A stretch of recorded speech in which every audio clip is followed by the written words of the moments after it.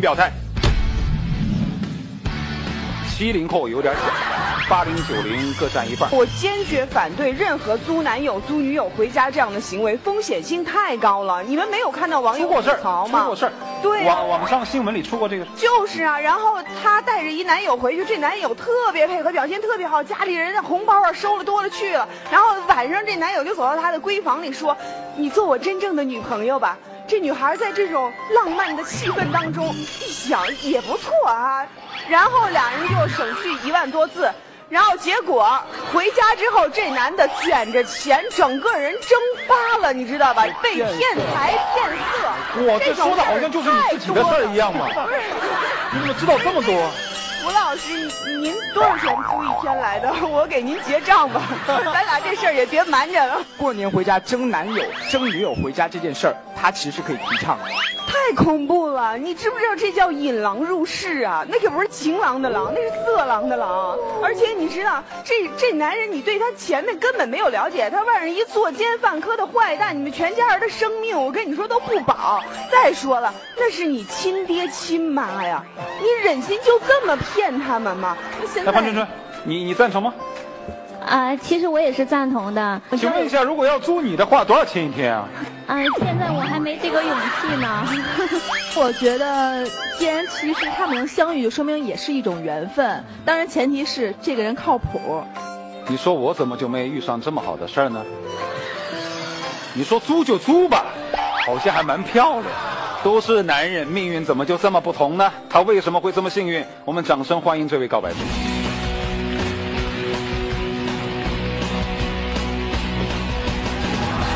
Hello，大家好，志真好，你好，志真好，我叫徐鹏，今年二十八岁，是个北京地道的纯爷们儿，纯的。现在跟几个朋友合开了咖啡厅，然后也算做一点小生意。我让你说这些了吗？你以为你长得帅就可以无视我的存在吗？没有吧？我觉得应该你在我上面吧。什么叫我在你上面？我明明在你旁边。你这么帅，怎么可能没有女朋友？因为我去年的时候刚刚分手。你们俩签了协议是吧？对，协议是他提的，因为当时我把身份证还有一些我的信息，然后写在了上面。大概时间是一周左右，然后费用是一千块左右一天。一千一天，嗯，往返的费用是由他来负担的。一个星期就七千，包括往返的费用，他这租个男友回家，前后得花上万把来块钱呢。可是你不觉得特值吗？又不是值那一差点？为什么会觉得特值呢？你就那么值钱吗？我告诉你，那男生比你帅。哪个呀？那个，对吧？潘春春，帅吗？我还是觉得我们、呃观察团的男生比较帅。你这样太不好了。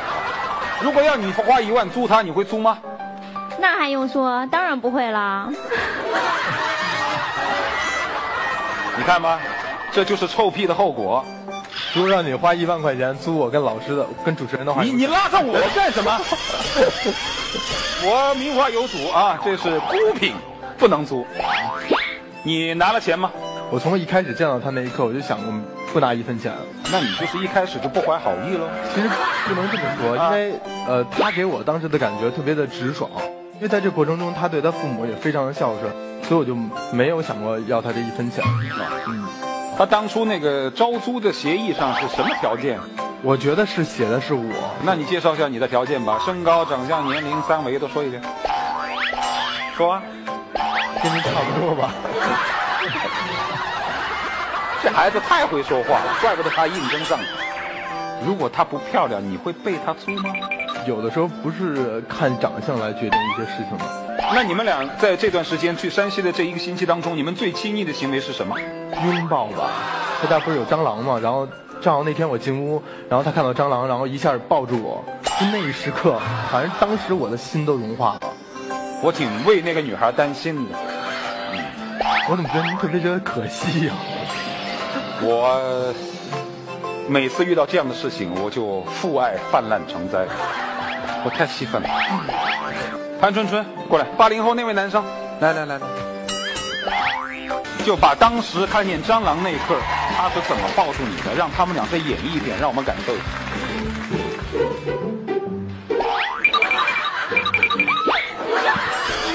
哇哇哇哇哇哇！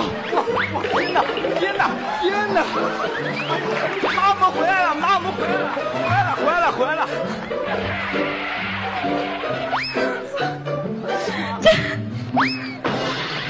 人家就是抱一下你，我们没有说要继续往下演。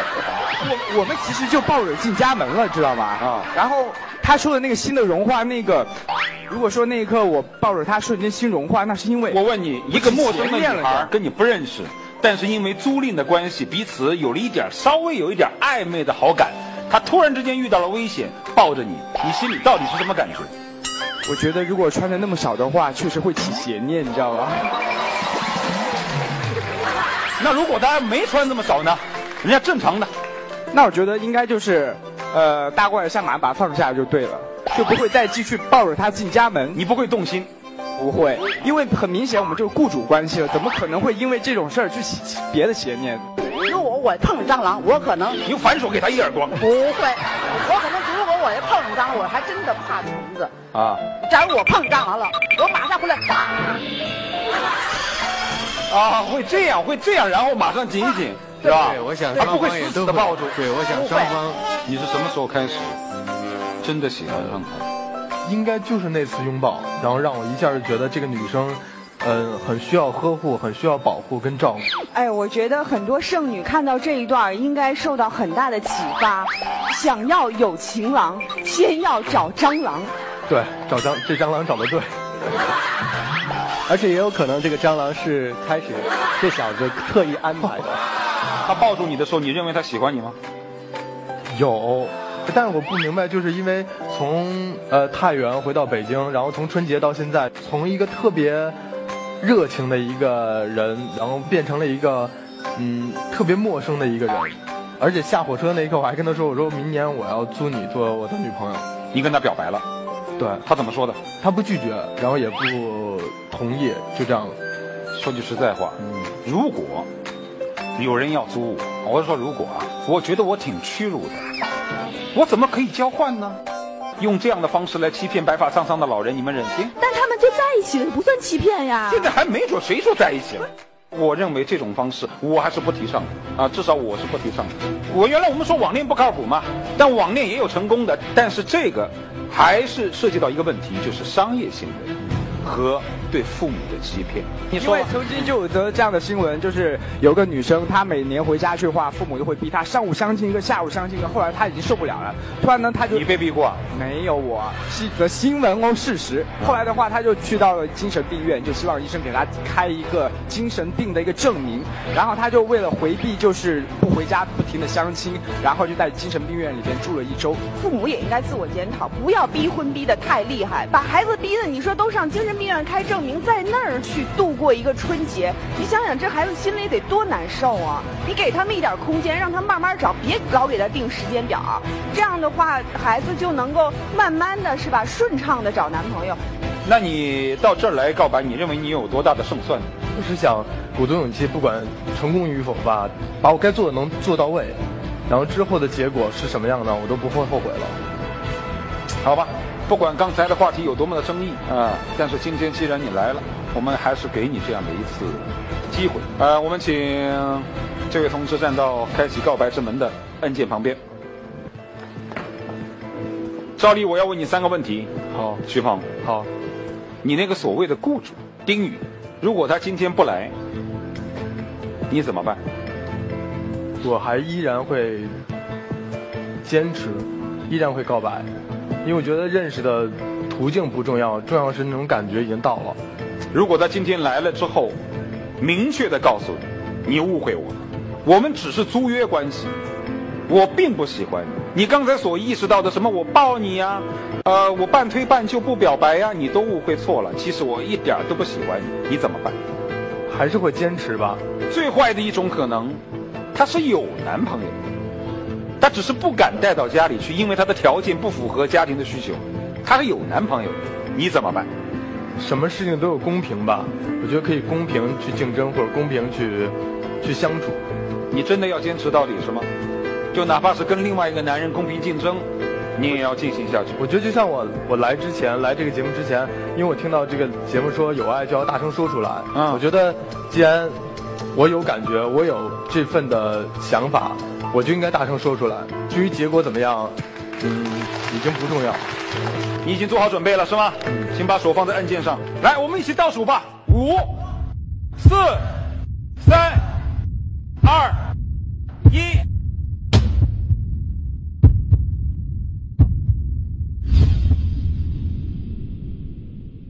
精锐珍珠提醒您稍后继续收看《完美告白你》。已经做好准备了是吗？嗯，请把手放在按键上。来，我们一起倒数吧。五、四、三、二、一，请开门。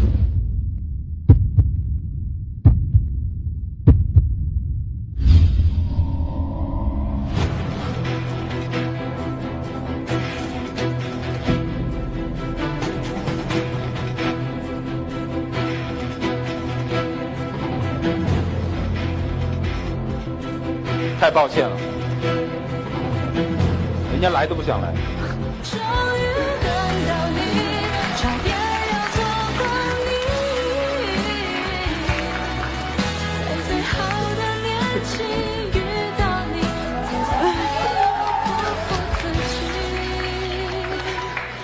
终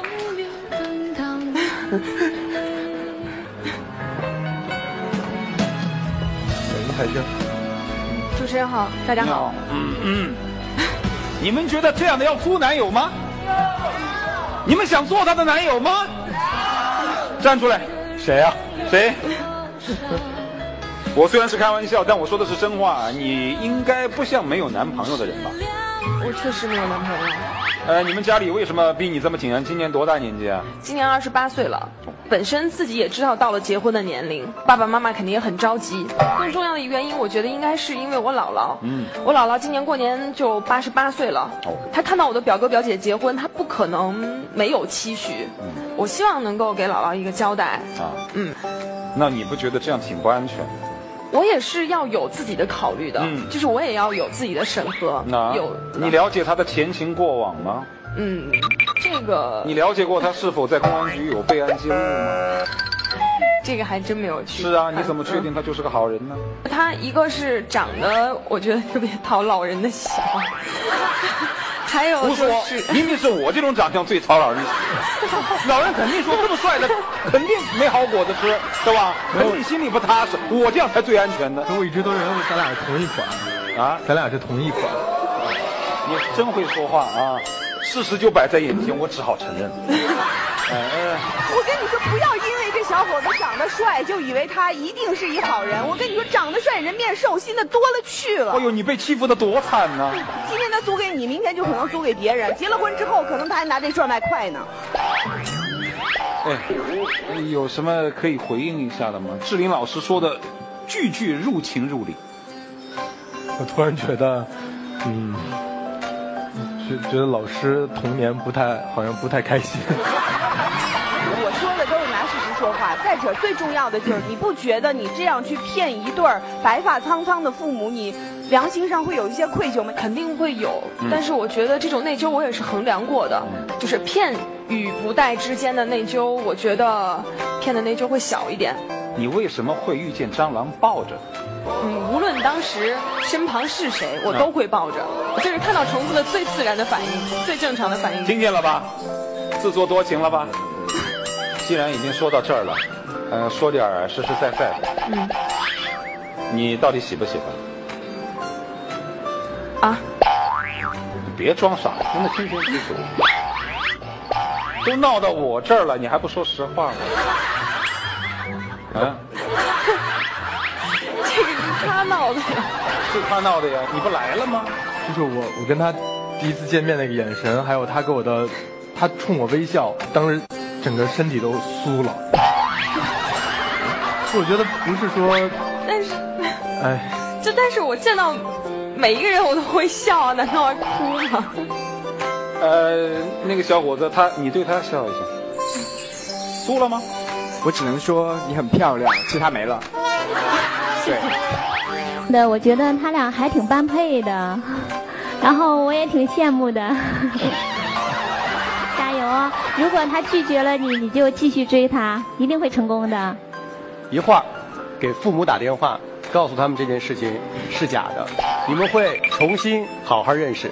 如果经过了实际的检验，你们俩并不合适，以后再也不可以用这种方法面对未来的男朋友或者是女朋友。好，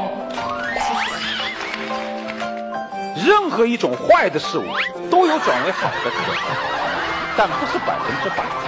那是不是能够证明所有的认识的方式都可以演变成真正的爱情呢？我相信成功率可能连百分之十、百分之五都到不了。但是如果你们好了，我们还是很高兴。当然，这还得看他答不答应。那么接下来，我们把舞台交给徐鹏啊，接下来是徐鹏的告白时间。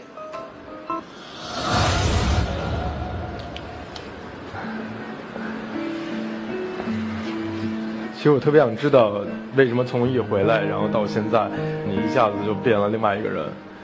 嗯，你知道我租你回家过年的理由是什么？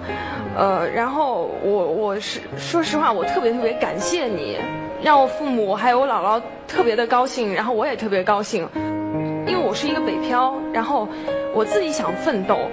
我是北京人，然后我有房子，我觉得你不需要因为房子然后奋斗去影响我们之间的交往。我说的这个立足是指的房子，但不是我老公的房子。因为我觉得他不会耽误我跟你的之间的交往，而且你不觉得就是从我们认识，然后到现在，然后到回到老家，然后这之间发生的事情都历历在目。你很多事情我都记在心里，包括比如说你做红烧肉，做的每一道菜虽然很好吃，但我都没有说出口。你喜欢的小熊，然后你喜欢看的电影，你所有的所有的一切，我都记得。真的不相信的话，我觉得今天在在场所有的人都可以证明，我是一个认真的，我是想跟你好好在一起。我觉得你可以给我一次机会，然后让我们去认识、去了解、去在一起。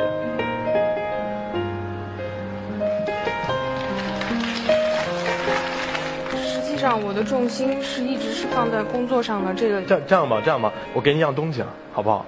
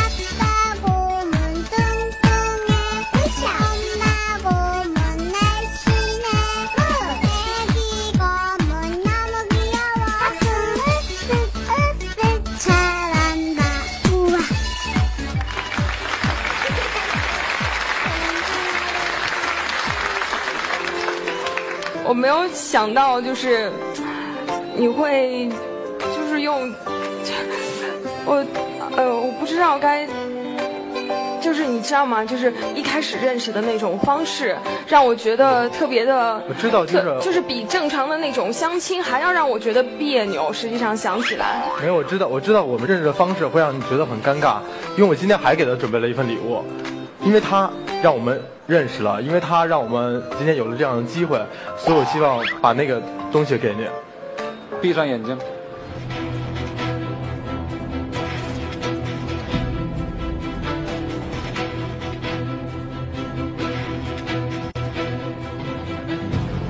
精锐珍珠提醒您稍后继续收看《完美告白》。闭上眼睛。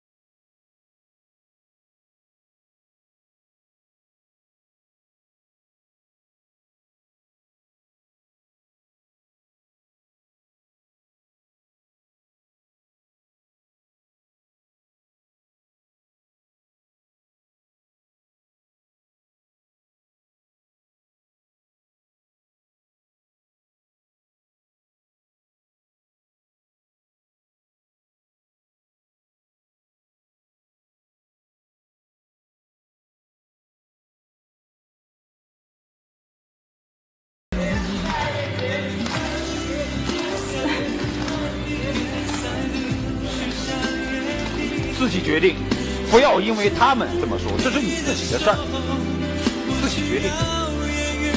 我就搞不明白了，这玫瑰花捧手上都捧那么久，还不行？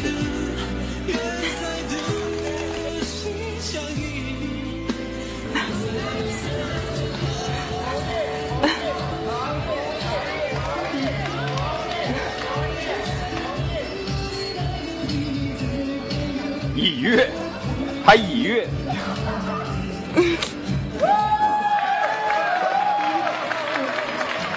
这个你们俩是要带回家吗？要啊啊要。就实际上，嗯，我收到花也很开心，嗯，然后，嗯，我想问你，就是实际上在签字之前，我应该问你的，你可以接受我不停的出差吗？可以啊，我都可以接受。你就可以把我当成一个港湾，他做什么你都愿意包容吗？我都愿意。来，用这个给他画上胡子。来来嘛，他说做什么他都愿意，试一下看。画呀。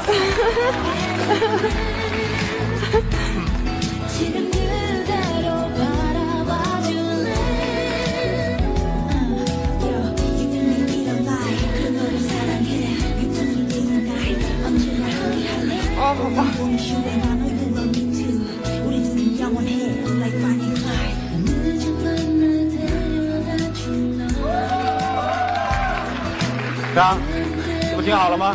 好，你看他他他他愿意包容你，你是这算答应了是吗？我只能说是试一试吧。试一次，嗯，好吧，我们束缚他们，一个星期不准洗啊。